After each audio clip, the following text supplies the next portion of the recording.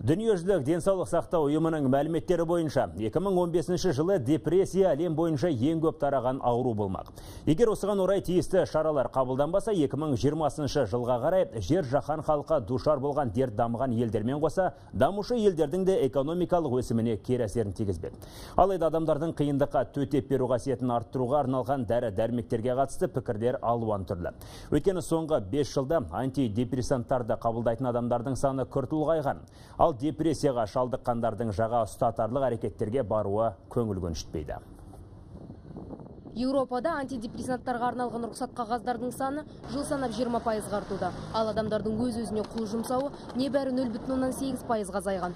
Қолда бар мәліметтерге қарағанда, жыл сайын 60 мыңдай Еуропа тұрғын өмірмен қош айтысып жатады. Ал депрессияға қарсы дәрі-дәрмектерге тәуелді адамдардың қатары шарықтап кеткен. Психотроптық заттардың 80 пайызын қолданатын батыс Еуропа елдерімен қоса, ақш пен Канадада антидепрессанттарды көбіне көп білікті психиатрлар емес, жалпы тәжірибелік дәрігерлер белгілеп береді күйзеліске қарсы дәрі дәрмектердің денін өмір сүру деңгейі жоғары скандинавиялық халықтар қолданады. Бұл орайда әсіресе швеция алғы шепте келеді. Мұнда соңғы 20 жылда жүйке жүйесінің тозуына қарсы препараттарды қолдану мың пайызға артқан. Екінші орында дания ал үшінші орынға португалия елі табан тіреген. Бүгінде бұл тізімде төртінші орында тұрған ұлыбританияда әрбір оныншы адам күйзеліске төтеп бере алмай түрлі дәрі дәрмектерді қолданады екен. Тұманды альбион елінде соңғы он жылда антидепрессанттарды қолданатын адамдардың саны екі есеге ұлғайыпты. Ал өткен жылдың өзінде британиялық дәрігерлер 55 миллион адамға осындай дәрі дәрмектерді қабылдауға рұқсат берген.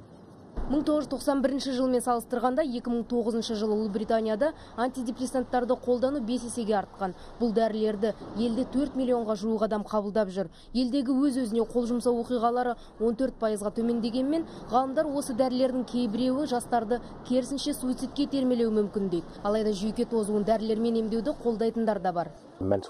егер жүйке тозуына қарсы дәрілер дұрыс қолданылса адам санасындағы өз өзіне қол жұмсау ойлары жойылады жүйелі түрде антидепрессанттарды пайдалану көрсеткіштері жоғары елдерде суицид деңгейі едәуір кеміген.